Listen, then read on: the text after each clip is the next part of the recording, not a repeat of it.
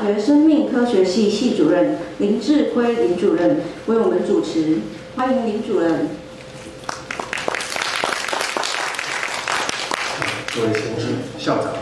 各位来宾，大家好。那我们专题演讲的第一场呢，非常高兴请到中国医药大学的吴永昌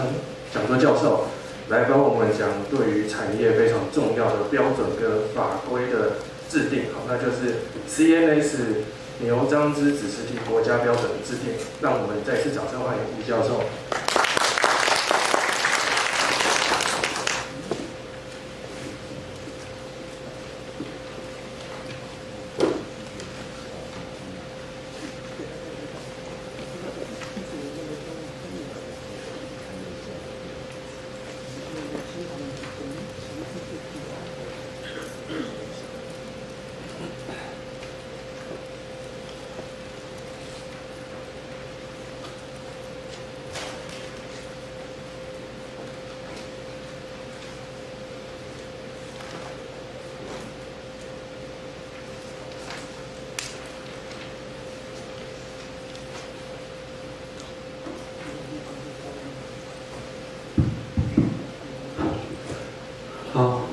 谢谢主席的介绍，啊，曾校长，还有我们陈理事长，也是陈教授，啊，前国家中央研究所前所长，以及在座今天有很多的 speaker，啊，容我不一的称谓，啊，各位我们牛樟之界的很多的先进跟同好，大家早，大家早，好，非常荣幸，非常高兴，呃，这么。校长跟我们陈理事长邀请以及大会的安排，让我有这个机会再度到台东大学来。啊，去年其实也来台东大学跟啊曾校长啊请益，也看到曾校长华东大校务带的蒸蒸日上，非常恭喜啊曾校长。那时间的关系，我今天是特别受命来跟大家分享一下。所谓的呃油樟芝指示体国家标准的一个制定，刚才周校长提到，其实这个法规，啊这个研讨会第四届、第一届、第二届，尤其第一届，我们也开始啊陈教授的邀请，我们在中研院，我也算呃是第一个 speaker 第一场的一个 keynote speaker，啊这一次再度到这个会场来，真的非常的啊荣幸。那今天特别要来讲这个题目，我想大家都非常辛苦，大家也了解我们在座的很多的呃新进们，这个牛樟芝这个产业，从这二十年来，大家我们辛苦，不管是学界、业界，我们都一直在经营，可惜我们就没办法能够去突破到我最后一张时代的人讲的。韩国人生为什么不能有台湾的牛樟？这一个我最认为最大的一个迷信所以我们一直不惜政府能不能给我们一个啊合理合法可以可以往前走的一个标准。那待会我就会按照这个程序上几个 slide 跟大家来报做一个报告。那。OK，所以今天我提的大概分成这下面的四点，哦，简单的概述一下我们所谓的国家标准，还有第二大项就是到目前为止，这陈教授刚刚提到，跟大家分享一下 COVID-19 的相关有关牛樟芝的一个 abstract，even 里面有一个 pure compound，都肯都有能够来帮忙帮助 COVID-19 的一个防疫跟作用。那在这边也跟大家分享一下，我目前也正在实验室，我从我 create 的一个台湾天然物的萃取物跟纯化合物的资料库，我把它称为 TDEC，台湾 Data Bank of Extract and Pure Compound，就在中国医大跟高医大网站网页都可以进去。那我们最近我这十多年来哦。我们这个 tool 就是做 docking，molecular docking 就是分子模拟的一个 docking，那做 molecular screening。那我们从这个 data bank 里面，我们大概，呃，我们用的是 SARS COVID-19 的 spike protein 的这一个 model，那我们筛到十七个有 potential 的 lead compound，那目前我们在已经把这个 cell 自己 capture 起来，所以现在已经呃上礼拜有七个 pure compound 下去进行这个 a s i 我希望有机会能够分享大家啊这个对 COVID-19 的一个新的进展。啊，那第三项就是今天的一个主题。那最后我做一个简单的结论。这里大家了解的所谓的国家标准，在座很多哦，先界一些了解啊。那我们到网官方网站里面都可以看得到，所谓的国家标准其实就是 National Standard 的好系。那台湾就是以 Chinese 呃 National Standard 作为一个 CNS 的代号，这个如果都可以看得到。那专责单位。就是标准级经济部的标准检验级，那这个程序上，他会希望说能够有透过产官学研界的共同参与，然后几个共识，才能够作为一个国家标准。所以依据这样子一个条文，我们按照第十四条的一个第三项，去制定这个牛樟芝的一个国家标准。那国家标准里面的一个特性，它可以把它可以分成这三样。第一个是所谓的自愿采行的，也就属于自愿性的，不具强制性的。也就是说，要将国家标准引用于其主管的机制法规，才有强制性。其他，哎，这个强制就就连连，如同我们的卫生署啊、环保署等过这种单位才有强制性。那第二种就是所谓的共识性的共识产生，那共识的意思就是普通要获得非常普遍的获得大家的一个同意啊。第三，我们下面这个今天所提的流畅制国家标准，是团体都可以提出来一个国家标准的一个制定，这是透经过透明化的一个本质。所以我们知道一下西安市国家标准的特性之后。我们可以从哪一个项目去着手？那国家标准法里面第七条又非常明确的规定，这个的程序上有这六大一个步骤，就是开始有一个建议，再来有一个单位的起草草拟一个草案，再来可以征求所谓的意见，跟经过审查，还有政府的审定之后，再才能够核定的公告。所以在这里，所谓的征求意见，其实就是有公听会的意思。那这个公听会，我在这边 slide 里面没有提到，我这边先跟各位报告一下。这个国家标准也经过两次的公听会，由经济部检验局邀请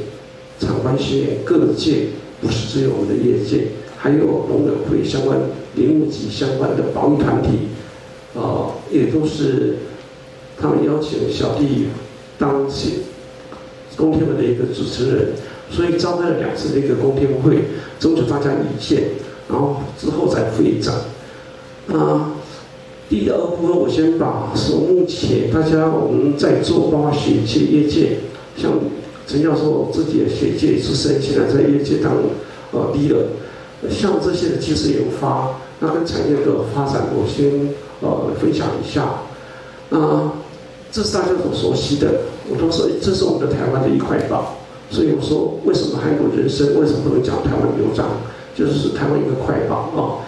那这个学名在公听会里面，包括国家标准里面，大家也为了这个学名也有一个不同的意见讨论，但是我们还是用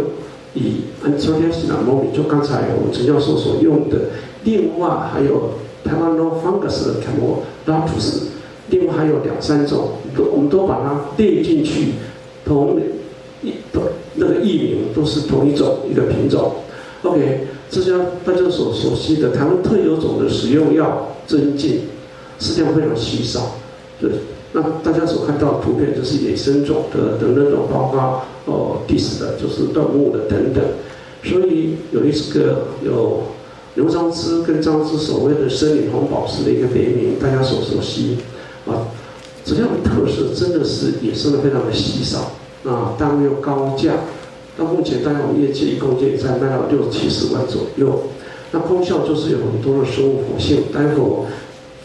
有一个 baby article 能够做这个整理，然后跟大家来分享。好，我也把这个来源，就是说牛樟芝常见的培养方式，当然首首先我提到的野生的，那这个已经经过四年，那有牛樟椴木的一个卡球，大概一两年，那有固态磷培式的一个培养 dis 卡球的，大概三到六个月的一个生长期。另外，这是大都是属于子实体的部分，可以生产 produce 子实体的牛樟菇。那另不同的就是所谓的近实体，就是大家所熟悉的太空包，或者是呃一些使用骨裂的固态的一个培养。另外，大家所熟悉的葡萄网固点的这些一代发酵，这是有子实体跟近实体的一个差异性的不同培养方式。那这这张也是从这篇里面 article 里面看得到的图形，那把它再重整理一下，就是野生种的一个流程图片。包括饼皮的，还有断木的等等。好，那至于那个学术论文的研究，到二零二年五月的一个总整理，total 有四百，将近四百五十篇的一个 paper 的发表。但是我们会上引为哦，都是来自我们台湾，将近百分之九十以上啊。不过我会比较呃。忧忧心的是，对岸的中国大陆也一直在，几乎都已经快追上我们。另外，也就是一些 material 我们的提供以外，还有一些他们的人力、财力，其实现在都比在我们之上。哦，这一句话应该大家能够同意。所以，哦，我们能够也是要能够把握我们自己的房间的一个 timing，是我能够来赶快来往前，哦，把这个产业做好。那至于 paper 以外，还有一个专利。那经过专利的搜寻，以牛樟芝或樟芝 a n t r u d i 为题目，我们大概有搜寻到将近两千笔的一个 patent 的一个专利的申请。不过也是有台湾油樟芝的相关产业，确实是台湾占的大众哦。那其他我刚才讲过，中国大陆一直在继续追追哦，这是我们应该要忧心的。好，那至于刚才哦。徐教授有提到的所谓的飞蛾飞的一个植物图谱，这一张就是来跟大家分享一下，说油樟芝指标成为的鉴定跟分析方法的建立。待会要提到的一些国家标准的 marker 其他成分，就是用这个技术分析上的植物图谱当做一个 base。那这个是王世阳教授提供给牛樟芝制定国家标准时候的一个草案的方案的一个。哦，这种图谱的分析的一个呃依据做参考，那所以这里面就有把所有的樟树酸都有一一的去呈现，从 A 到 M 把它呈现起来，所以十三种，除了里面有两个以外，剩下的都是三铁类的化合物。那除了王教王王院长，那是教授王院长的分析条件以外。那这个也跟大家分享，我们发表在二零一二年的一个所谓的牛樟芝三铁类化合物，我们会我们有针对特有的三铁类的成分，它有效的萃取分析方法，那把所有也一样的三铁类，我们都把它当组图谱一一的去把它分析出来，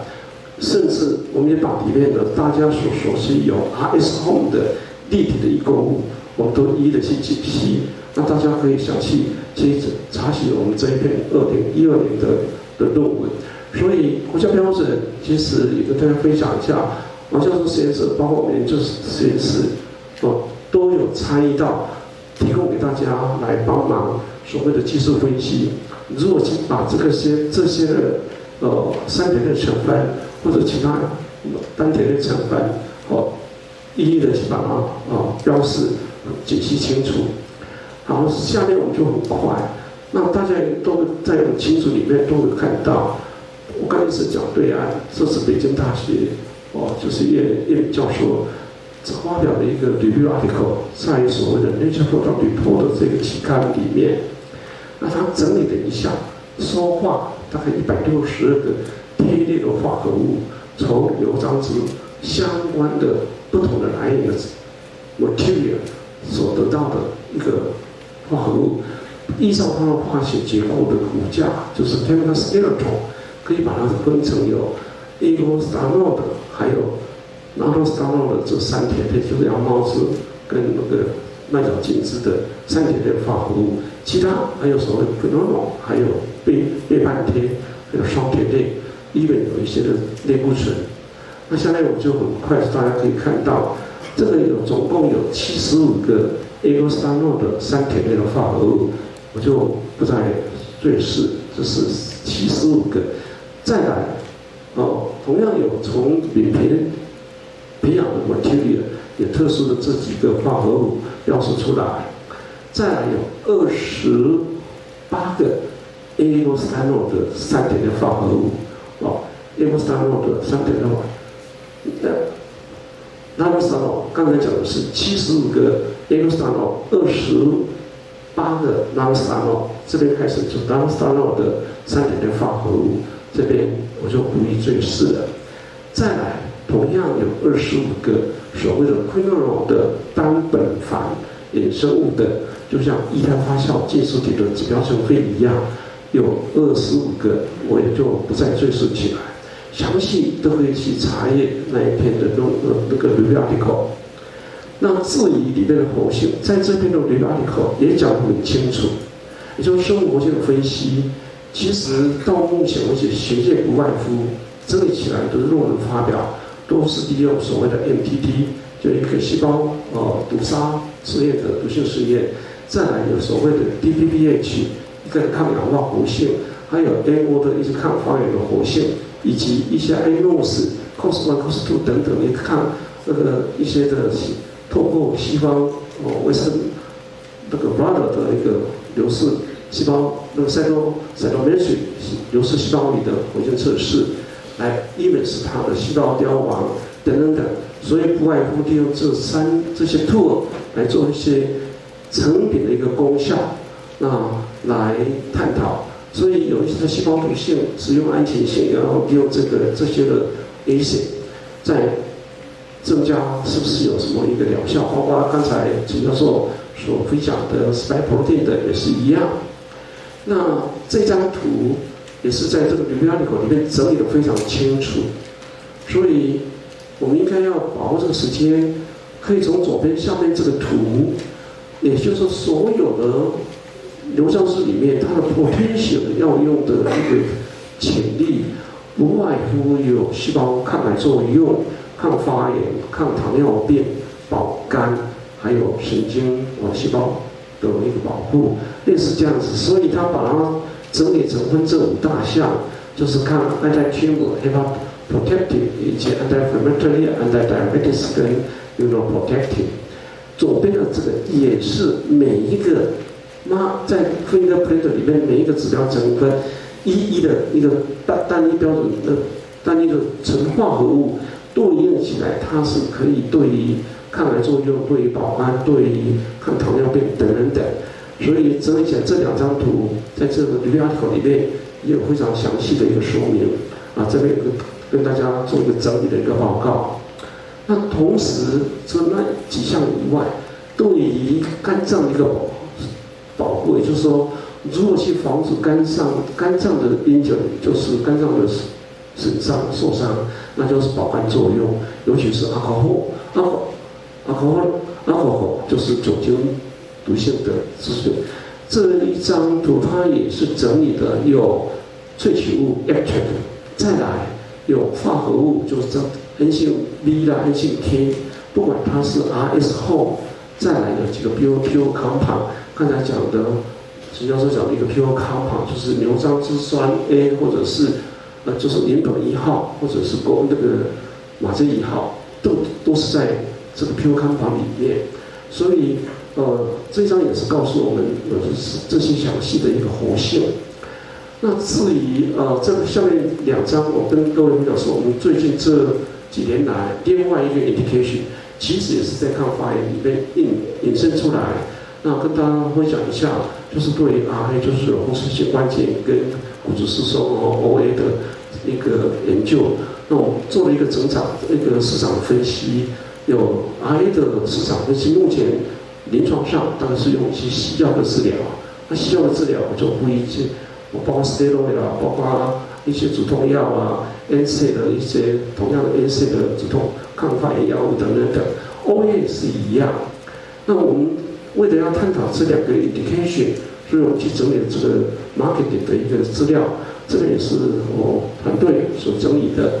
那至于整个一个市场，因为确实有它的 potential，以 OA 来讲，就将近有九千多万人的一个这个疾病的一个困扰，哦，RA 也有将近五百万人，所以西药用西药以外，那我们能不能去开发一个 u need，就是未满足医疗需求的所谓我们的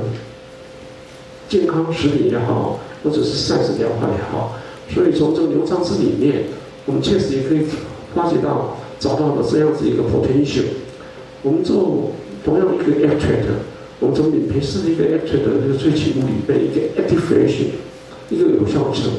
我们去探讨到这个呃 OASF 的这个实验以及 RASF 的这两个实验 model，然后去做它的抗发反应啊，所以探讨 RA 的作用，所以不管是在这个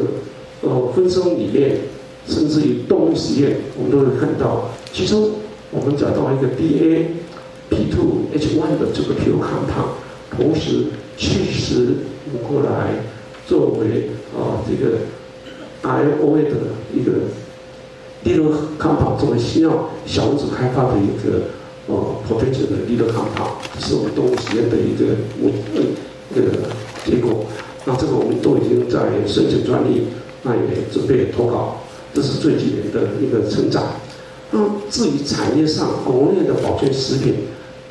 跟产业的概况的一个产值，我整理的这一张，其实可以看起来，total 到二零一八年，真菌类保健食品产值还是稳定的一个成长，所以而且是在国内的生物来源大概是将近三成。那国内牛樟芝保健食品。哦，还不是如我们所预期的，但是我也我们也希望能够能够有稳定的一个年成长率，但是碍于就是看来大家所担心，哎，政府没办法来帮我们鼓励的，所以 CS 这个国家标准一直没办法来进行，让是不是造成我们这个产业上没办法渐渐的发展，所以有了这一个。我们往牛樟芝国家标准来推动，所以这一章也就跟大家来分享。好，好，第三这个市场分析，希望这里做一个做一个整理。我是从农业生体产业季刊里面的一个资料，哦，这是最近的一个 data，从台湾经济研究中心他们所整理相关的牛樟芝，把它做了一个整理。其实我们可以看起来，将近二十年的发展。我们的产业链应该已经形成，包括从上游的牛樟芝苗木的培育，包括造林、子实体很多的，包括近实体等等等的一个产值价值的行销，希望真的是能够大家一起努力，期待有能够哦美好的一天。那这个是上一代，呃，我我们有时候记得林董林董的代言会哈，这一张是大家可以上我们是看到。呃，眼镜杂志专访的一个领导里面有提到，同样是希望把这个产业能够为台湾发光发亮啊！大家有兴趣去看这一篇。好，剩下一些时间，我们就回到来这边 focus 在台湾的 CS 牛樟国家标准的一个制定。这是今天是跟大家来报告一下整个一个制定的过程。刚才一开始说有建议。所以在二零一零年的时候，行政院卫生署使用食品药物管理局以及经济部标准检验局就有发文到协会里面来，是不是能够来推出呃复习一下协会能够来草拟这个实验室国家标准的一个呃法规规范起来，所以啊也就是利用。这种的国宝的牛樟协会以外，也有的还诶还有另一个台湾牛樟芝产业协会，叫 TNIA 的，那也是成立在二零一四年。所以二零一零年经济部包括啊食药署，希望业界我们能够来推动，所以二零一四也成立了这个 DNIA 的协会，在座应该很多新进的都是会员之一，所以这个平台希望有这三个目的往来做。那在这个平台之下啊，我也受命大家推举我来当做这样的一个呃刘刘章师研发技术委员产业协会里面有一个研发技术委员会，那待会有委员会里面就有一些的成员，应该就是这些。那有校军校长，那也是现任的第二任的这个协会的理事长，吴天长教授，还有王思远教授。郭伟珍校长啊，许家兴董事长跟林金荣董事长，那我说明大家推举我当召集人，所以我们这个任务是社会责任，是不是能够把这个企国家标准？当初国家标准一直没办法让我们推动，就在供电会过程里面阻碍，受到保育团体的一个阻碍，哦，还有其他呃团体没办法来来帮忙配合，所以就。我们是不是也先自己来定一个企业标准啊？所以是同步的来进行啊。不过最后我们非常高兴，往国家标准来进行的呃推动的。然后在这都是业业界的先进。呃，一零四年、二零一五年的时候，毒性事件的发生，所以就是所有的产品，即使你要卖食品，同样也要九十天的卫食的毒性事件报告，你送审合格以后。你才能过来贩售，哦，这是有这么的一个要求。那回到配合这个要求之外，再来国家标准如何来制定？我们这整个过程分经过从二零一四成立到现在二零二零的，所以整个过程，final 我把它整理成这一章。那这个就是由牛樟事业者提供不同来源的指示体的样品，用。先以指示体当一个标的物，那所以从来提供不同来源的指示体。那刘章是指示体的进种形态及分子鉴定，以及它的微观机关的鉴定跟水分，以及它的萃取抽提力跟指标层分割的分析，这些都纳进到这个国家标准的 raft 里面。所以设定的这些以外。从我们这个协会里面专门小组技术委员会在会员大会去认可，我们再送到经济部标准级的检验局里面。那经济部的标准级的检验局也开了一些的召开专家会议跟公听会，所以能不能最后是不是在送审审查？那按照刚才讲同样标准的一个制定程序来核可。核定这个国家标准，按照这个 process，我们做了几件事情，所以整个之后一直到二零一七年，就有一个标准草案的一个制定，所以就把这个标准草案，我们中华民国国家标准协会是牛樟芝指示地的这个标准草案送到，哦，我们相关机构，那相关机构当然就是国家标准局，标准局里面就有肥含。也就分享就是这几点，哦，也就是说，一标准级会议记录会者修改项目，也就是我们把刚才提到的这一章所有的项目里面，那送到标准值去之后，标准级的一个回函，也就是说，本草案理清一些农林政策及食用安全性等政策疑虑。我刚才提到就是一些保育团体的不同意见的声音，哦，就是。呃，在公司公司会议里面，公听会里面就有一个不同反对意见。那这边也都已经厘清了。再来，请提案单位进一步检索便利专利权的性质分类。那这个专利就是有没有一个侵权？这个也厘清了。最重要是在大家所找所担心的、所 concern 的，也就是说，其实这个国家标我们的指标成分 marker 从十。三种，一直定定到降到最后八个指标成分。国家标准局检验局说，就要要求我们是不是定降为到五到六种。那所以 finally 我到最后就真的降为六种。那这几个指标成分上如果奠定，大家说你的依据是什么？你的技术分析是什么？你的分析的单位是什么？所以在这跟各位报告一下，九个牛樟芝指示体的样品是从业者提供到协会里面来，从协会的负责萃取完之后，送到中兴大学，我们就直接讲王志元教授，高一就是吴永章教授，哦，自己立的他们的业界的实验室分析，再加上食品手的的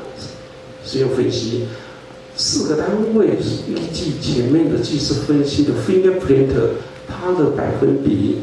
平均值多少，我们基本上奠定这样子一个规范。所以大家非常应该说，我们都有三个一个 evidence 的一个 support。所以，final 就是说，乙醇的出萃率都要大于二十一个 percent 哦。那至于每个 pure compound 要大于多少？后来我们没有，依据大家的一个意见，不定每个个别的标准量，定为总脱头量，所以这个 finally 就是变成这一张。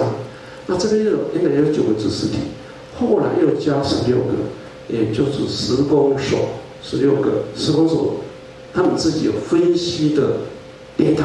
我们真的加进来一起讨论，我们就是真的是共识结。这样大家能够对这个标准的制定非常的一个严谨，非常的公开，所以最后真的是定为刚才讲说要大于一百二，甚至于十三个八个，后来我们真的是降到只要每格纳米的指示率三铁类这边大于一百 milligram 合格率，我把市场的二十九加十六二十五个里面，大概有十九个样品是可以通过。那我们就采低标，所以就没有采到一百一到一百二的这个高标的标准。啊，这个应该是大家都可以接受的。这就是整个研研定的一个过程，跟大家报告。哦，好，这张就是最后 finally，我们所谓的牛樟芝子实体，新鲜的牛樟芝子实体，你如果含水分，就是要八十个 percent 以下。如果是干燥品，要十个 percent 以下。那大家所看剩的牛樟芝，你的 culture 的 product 是不是跟 wild product 野生种它的 DNA 的 ITS 是不是很类似？这边也希望你能够提供九十八 percent 以上的 ITS 的相似相似度的证明。这就是法定单公证单位帮你提供。那乙醇萃取率包括指标成分的这些含量，二十一个 percent，哦，包括所最后六个指标成分，就是 R 后 S 后都含在内氨性的 A、B、C、H、K，以及你还有 DBA，这个就是所谓的邻苯药，我们实验室最先发表的邻苯药，这个六种指标成分要一百微克以上。那这些单位啊，协会里面也有几个认证的实验室，包括我们甚至在内，都可以跟大家做服务。只要透过协会安排到这几个实验室，协会会给你一个 document，就是可以认证的一个标准。我在这边跟各位来哦分享。OK，好，最后这一章是说整个国家标准制定的程序，我再重新你 review 一下，就是。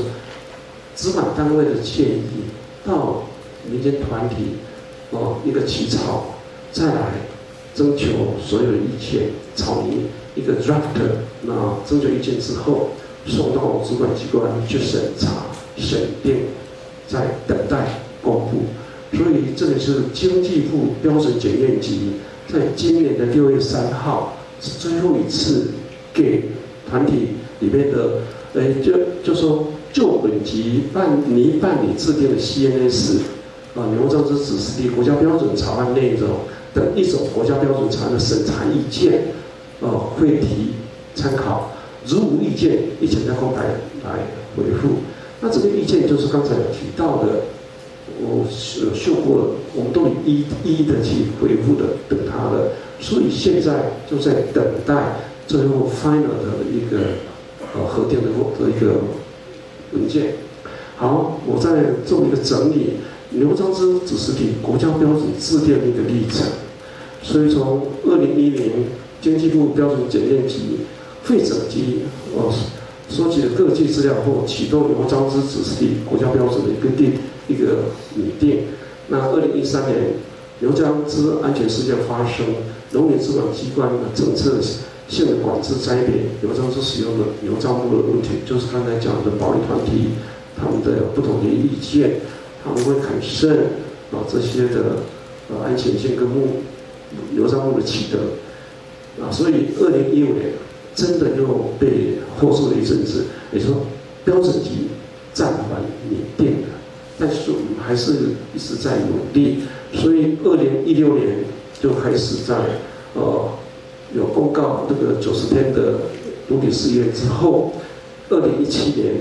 零六级在开放牛樟木的标售，所以同时也在启动。重启国家标准的一个拟定，委托刚才讲的台台湾牛樟芝产业协会，汇总大家的意见，拟定的牛樟芝国指示体国家标准草案，也就是已经送审，六月三号他们回复的。那在这个过程里面，有一些的标准，哦，食品国家标准技术会议啊，还有标一些的牛樟产业技术会议，到六月。他们的呃一个公告征求意见，那六十天之内等两个月，我们都已经回复回去，就是我刚才提过，我们正等待他们的回复。那下面就有几张，我做 science 做一个 scholar，所有的会议记录，我这边做记两张，这是第九次的会议记录，我是委员会召集人，我一定要认签名啊，要背书认可啊，这是我们经过。对于政单位或者是大家团体所不同的意见，我们来做一个修订。第十次也是一样，哦，那最后第十一次是最后一次的，这就是我们有除了技术委员会以外，我们还请专家进来参与，所以这是第十一次。那这个专家就是有原来的施工所的严国芳，哦，还有谢松元跟张东柱教授。其他的是原来技术委员会委员，这些我都牵连在这里，也跟各位啊啊先进同好大家来做一个报告啊。最后我做一个结论，所以台湾牛樟芝经过前面的整个一个概示，我们的潜力其实已经可以说到国外官方的重视。美国 USB 已经把我在当东亚代表的一个。USB 的委员的时候，我就已经建议把牛樟芝指示体的标准 Homogeneity 纳入到 USB 的 item。我，现在也开始在进，已在着手进行的。那中国大陆，我想大家也了解，有就是一些官方，他们也在启动。我们是有希望有朝一日，把台湾牛樟芝。希望成为台湾的下一个电子产业，一个明星产业，这才是我们大家包括我在内在做新年大家的目标。我想，这是，让我们大家一起来努力，达到真的。我一直希望，在我们有生之年，希望看到海广人生台湾有章之城能够来发光发亮。啊，真的是非常感谢啊，也谢谢台湾有章产业协会，当然有些技术委员会委员。那包括我的呃研究团队，好，谢谢大家，请大家多多指教，谢谢。好，非常感谢吴教授的精彩演讲。那请问各位在。